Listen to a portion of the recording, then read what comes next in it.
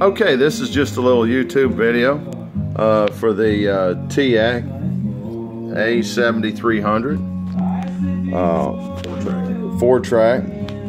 Uh, been in uh, storage for a while. We just pulled it out, fired it up, and uh, go through some of the motions.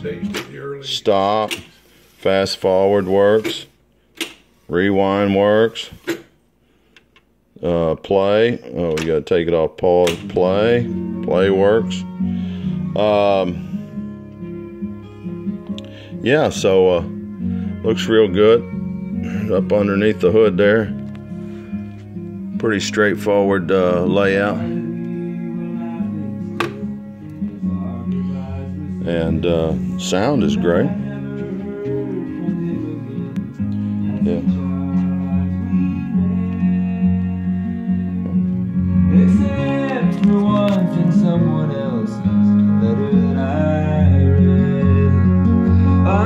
Yeah.